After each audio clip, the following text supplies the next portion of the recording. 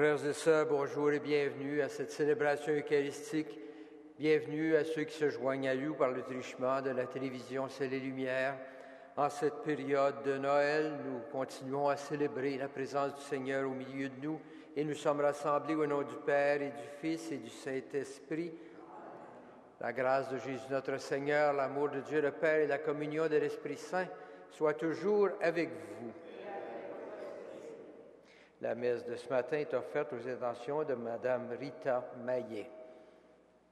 Au début de cette célébration, nous prenons conscience de la présence de ce Dieu d'amour et de miséricorde au milieu de nous et nous lui demandons pardon pour nos fautes. Seigneur Jésus, né d'une femme, Marie, tu es venu nous apporter la paix véritable, prends pitié de nous. Ô Christ, Fils de Dieu, tu nous donnes l'Esprit et nous pouvons crier vers Dieu, Abba, prends pitié de nous. Seigneur, Sauveur du monde, tu fais de nous des héritiers de la miséricorde du Père, prends pitié de nous. Que Dieu Tout-Puissant nous fasse miséricorde, qu'il nous pardonne nos péchés et nous conduise à la vie éternelle. Prions le Seigneur. Seigneur, sois la lumière de ton peuple et brûle toujours son cœur aux splendeurs de ta gloire. Alors il n'hésitera pas à reconnaître son Sauveur et pourra se donner à lui en toute vérité, lui qui règne avec toi dans l'unité du Saint-Esprit pour les siècles des siècles.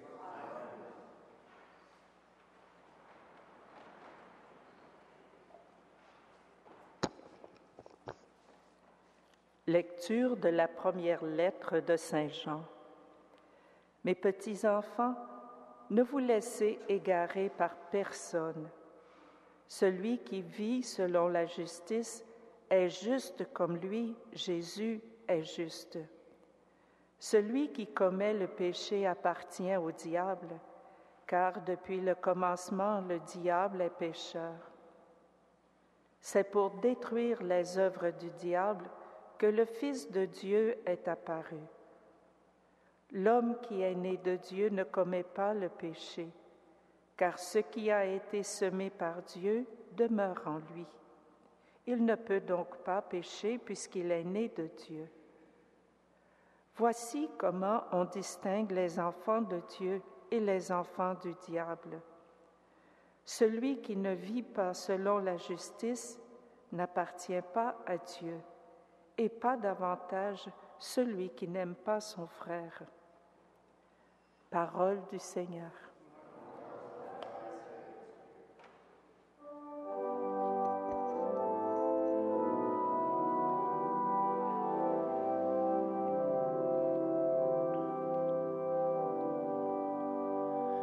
La terre entière a vu le Sauveur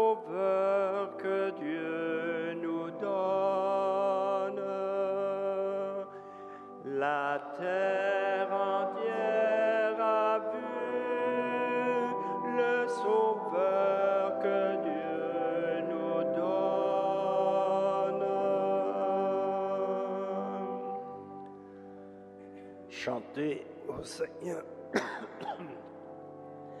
car il a fait des merveilles par son bras très saint, par sa main puissante, il s'est assuré la victoire.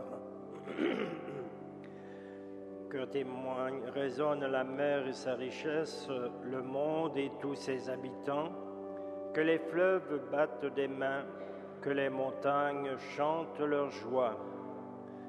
Acclamez le Seigneur, car il vient pour gouverner la terre, pour gouverner le monde avec justice et les peuples avec droiture. La terre entière a vu le Sauveur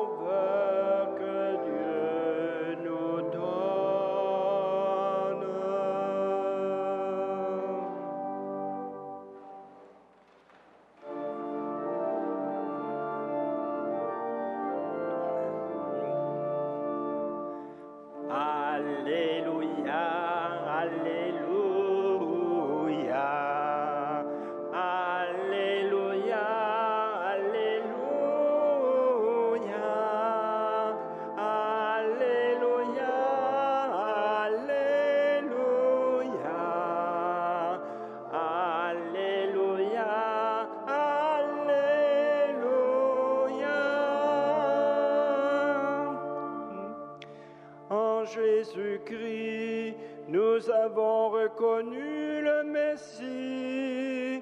Par lui nous viennent grâce et vérité.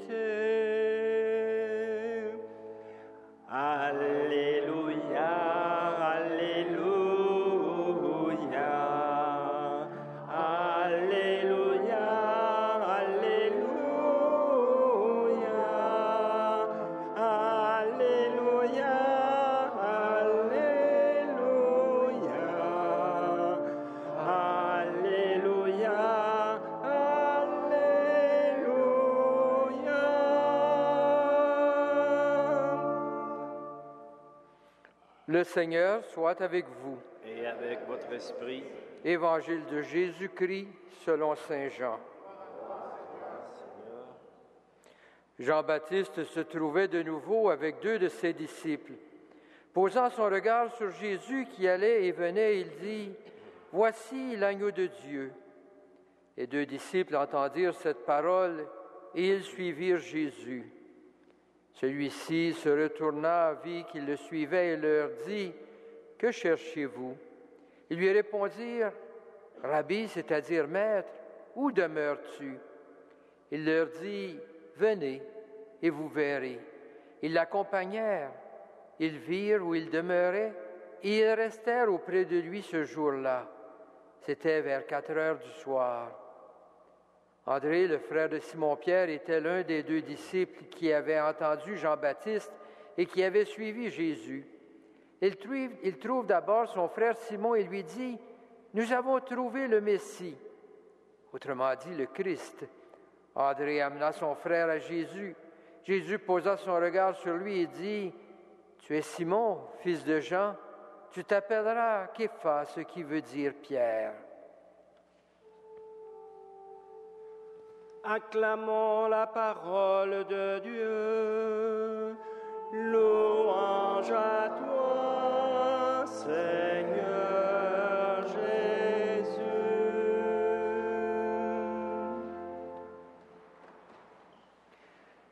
Frères et sœurs, après, à peine quelques jours après avoir célébré la naissance du Christ, le jour de Noël, l'Évangile de Jean nous invite déjà ce matin à rencontrer Jésus qui débute son ministère. Il le débute en invitant les premiers disciples à le suivre. Les premiers disciples qui suivront Jésus semblent provenir de la communauté qui vivait près de Jean-Baptiste, du moins dans la version de l'Évangile de Jean. La démarche se distingue de celle présentée par les autres évangélistes. Le premier mouvement ne consiste pas en un appel de Jésus, mais plutôt en une parole de Jean-Baptiste qui oriente les premiers disciples vers Jésus. Jean-Baptiste dit de Jésus, Voici l'agneau de Dieu. Une expression peut-être un peu étrange, surtout à cette époque, mais pourtant pleine de sens. Pour les Juifs, au moment du départ d'Égypte, c'était le sang d'un agneau immolé qui servait à sauver les Juifs et leur, permettre de marcher dans le désert vers la liberté. Depuis cette époque, à chaque année, on immolait un agneau pour rappeler la libération de l'esclavage d'Égypte. L'agneau, particulièrement l'agneau immolé, avait donc beaucoup de sens. C'était cet agneau signe de la libération de l'action de Dieu pour libérer son peuple.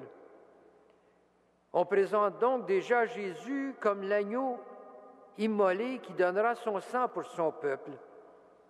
L'évangéliste et la communauté chrétienne qui accueille l'Évangile connaît déjà la mort de Jésus sur la croix et sa résurrection.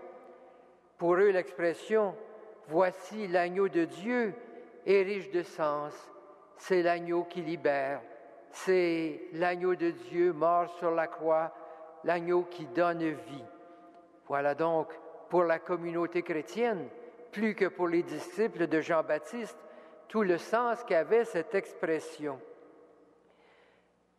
À partir de cette parole de Jean-Baptiste suit un dialogue qui nous parle d'un cheminement, Jésus demande aux deux, Que cherchez-vous?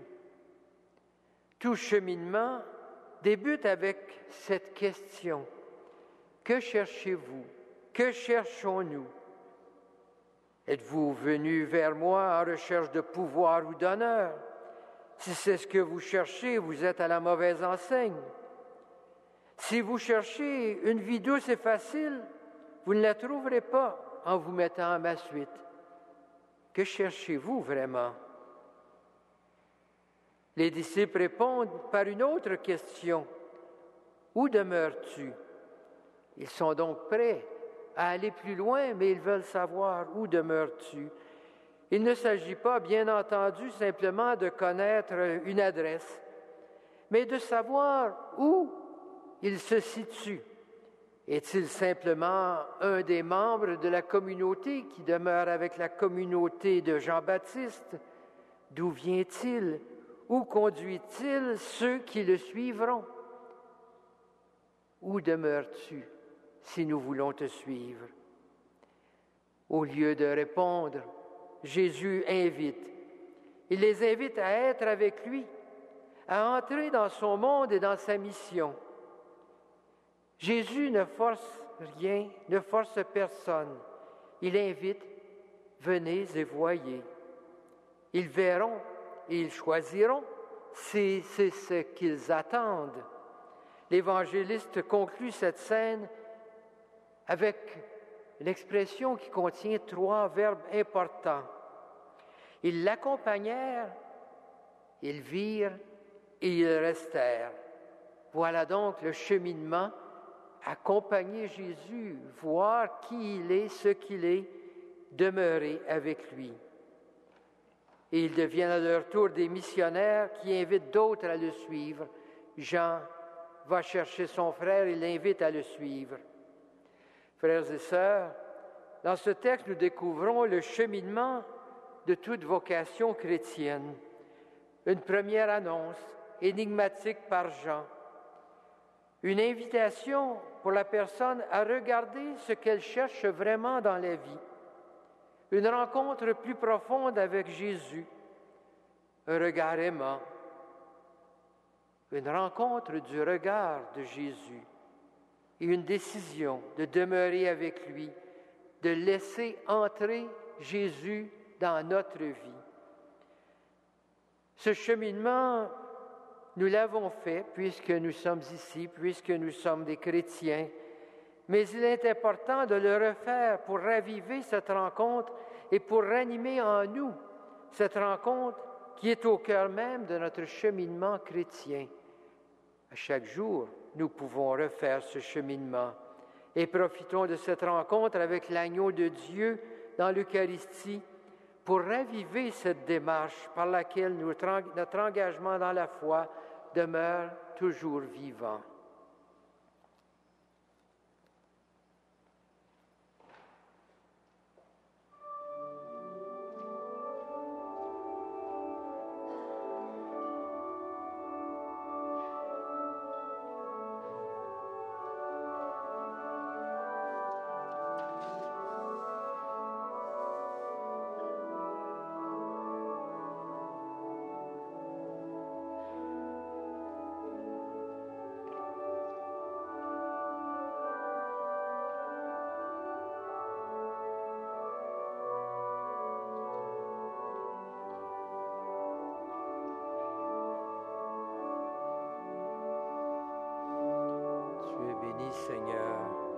De l'univers, toi qui lui donnes ce pain, fruit de la terre et du travail humain, nous représentons que ce pain soit pour nous le pain de la vie.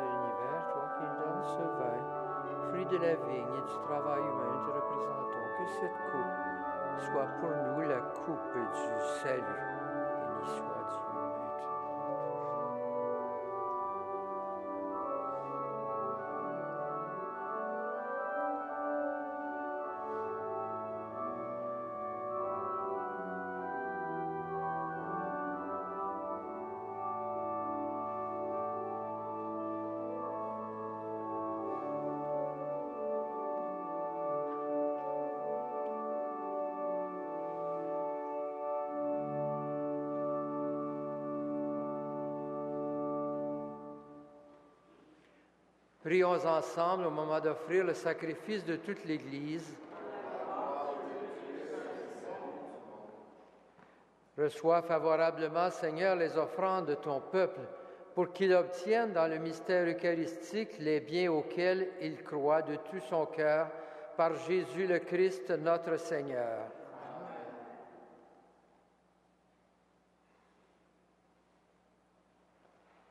Le Seigneur soit avec vous. Élevons notre cœur. Rendons grâce au Seigneur notre Dieu. Vraiment, il est juste et bon de te rendre gloire, de t'offrir notre action de grâce, toujours et en tout lieu à toi, Père très saint, Dieu éternel et tout-puissant. Dans le mystère de la Nativité, celui qui par nature est invisible se rend visible à nos yeux. Engendré avant le temps, il entre dans le cours du temps, faisant renaître en lui la création déchue, il restaure toutes choses et remet l'homme égaré sur le chemin de ton royaume. C'est pourquoi avec les anges qui proclamaient ta gloire dans le ciel, nous voulons te bénir en chantant.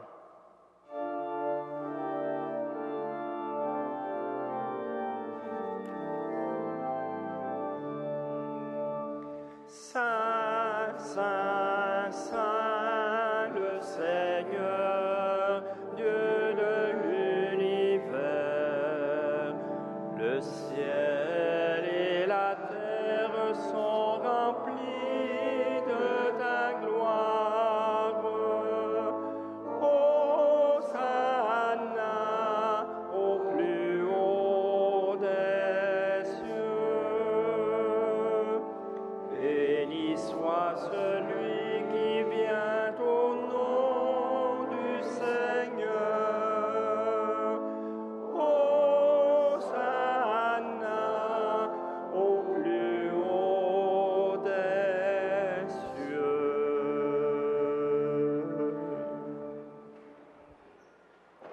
qui es vraiment saint, toi qui es la source de toute sainteté, Seigneur, nous te prions. Sanctifie ces offrandes en répandant sur elles ton esprit, qu'elles deviennent pour nous le corps et le sang de Jésus, le Christ notre Seigneur. Au moment d'être livré et d'entrer librement dans sa passion, il prit le pain, il rendit grâce, il le rompit et le donna à ses disciples en disant, Prenez et mangez-en tous, ceci est mon corps livré pour vous.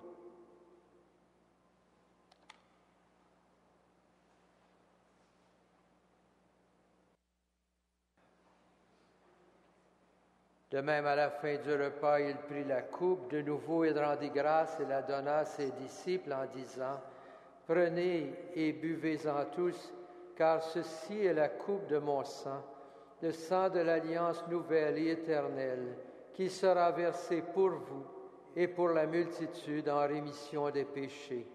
Vous ferez cela en mémoire de moi.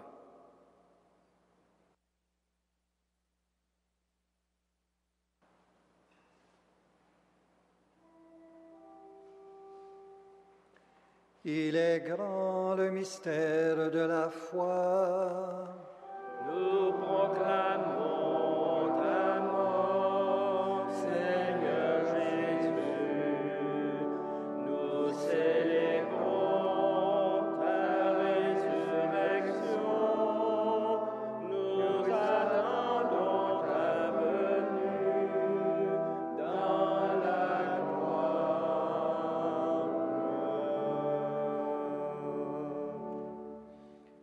Faisant ici mémoire de la mort et de la résurrection de ton Fils, nous t'offrons, Seigneur, le pain de la vie et la coupe du salut, et nous te rendons grâce, car tu nous as choisis pour servir en ta présence. Humblement, nous te demandons qu'en ayant part au corps et au sang du Christ, nous soyons rassemblés par l'Esprit Saint en un seul corps. Souviens-toi, Seigneur, de ton Église répandue à travers le monde. Fais-la grandir dans ta charité avec le pape Benoît, notre évêque Christian et tous ceux qui ont la charge de ton peuple. Souviens-toi aussi de nos sœurs, de nos frères qui se sont endormis dans l'espérance de la résurrection et de tous les hommes et de toutes les femmes qui ont quitté cette vie. Reçois-les dans ta lumière auprès de toi. Sur nous tous, enfin, nous implorons ta bonté. Permets qu'avec la Vierge Marie, la bienheureuse Mère de Dieu, avec Saint Joseph, son époux, avec les apôtres, avec Saint Frère André, les saints de tous les temps qui ont vécu dans ton amitié, nous ayons part la vie éternelle et que nous chantions ta louange par Jésus-Christ, ton Fils bien-aimé.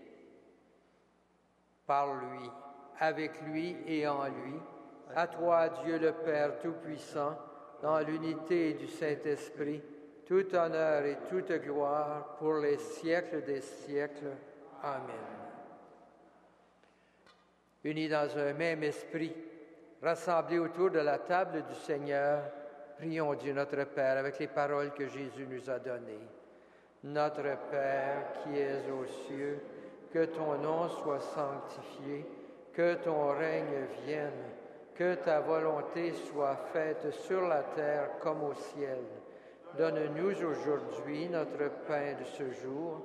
Pardonne-nous nos offenses, comme nous pardonnons aussi à ceux qui nous ont offensés. Et ne nous soumets pas à la tentation, mais délivre-nous du mal. Délivre-nous de tout mal, Seigneur, et donne la paix à notre temps par ta miséricorde. Libère-nous du péché. Rassure-nous devant les épreuves en cette vie où nous espérons le bonheur que tu promets et l'avènement de Jésus-Christ, notre Sauveur.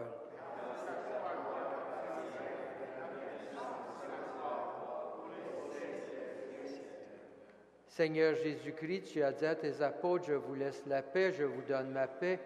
Ne regarde pas nos péchés, mais la foi de ton Église.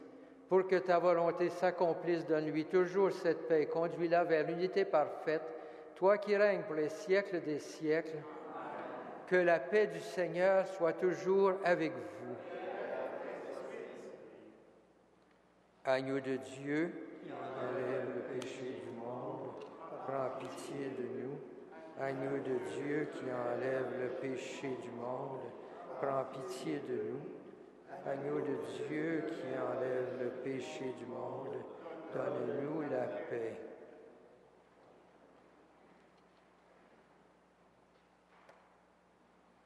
Heureux les invités au repas du Seigneur. Voici l'agneau de Dieu qui enlève le péché du monde. Seigneur, je ne suis pas digne de te recevoir, mais seulement ma parole et je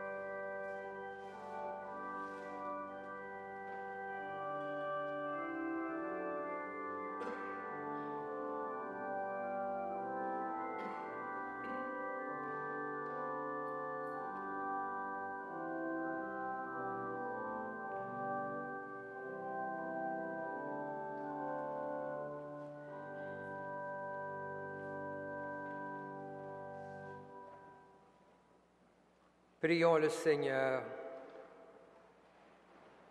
Quand nous allons communier, Seigneur, tu viens à notre rencontre.